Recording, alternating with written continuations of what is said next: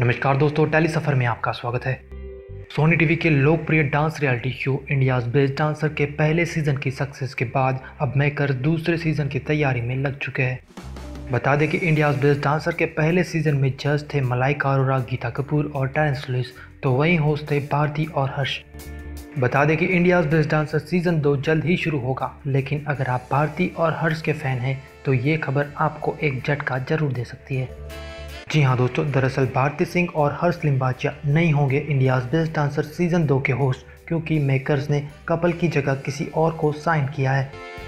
बता दें कि कॉमेडी कपल भारती और हर्ष इन दिनों कलर्स टीवी का शो डांस दीवानी सीज़न तीन होस्ट कर रहे हैं। अब हुआ कुछ ऐसा कि डांस दीवाने तीन के होस्ट राघव जुयाल की जगह पर भारती और हर्ष को बुलाया गया, जब राघव को कोरोना हुआ था और जब राघव ने डांस प्लस के लिए शो छोड़ा।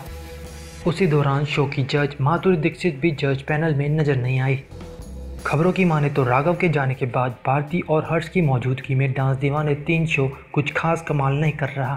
तो अब इंडियाज बेस्ट डांसर के मेकर्स ने भारती, हर्ष को इंडियाज बेस्ट डांसर सीज़न दो के लिए ना चुनने का निर्णय लिया और उनकी जगह मनीष पॉल को अप्रोच किया गया। दरअसल मेकर्स इस बार सीज़न को कुछ खास और अलग बनाने के लिए काफ़ी बदलाव कर रहे हैं। दोस्तों, हम जानते हैं कि वेरी एंटरटेनिंग भारती और हर्ष कॉमेडी कपल को पूरा देश चाहता है तो उन्हें इंडियाज बेस्ट डांसर के मंच पर ज़रूर मिस करेगा। मनीष पॉल शो को साइन करते हैं तो इंडियाज बेस्ट डांसर सीज़न दो में आप उन्हें देख पाएँगे एज ए होस्ट और जज पैनल में होंगे मलाइका, गीता और टेरेंस तो कॉमेडियन कपल भारती और हर्ष को आप इंडियाज बेस्ट डांसर सीज़न दो के मंच पर ज़रूर मिस करेंगे।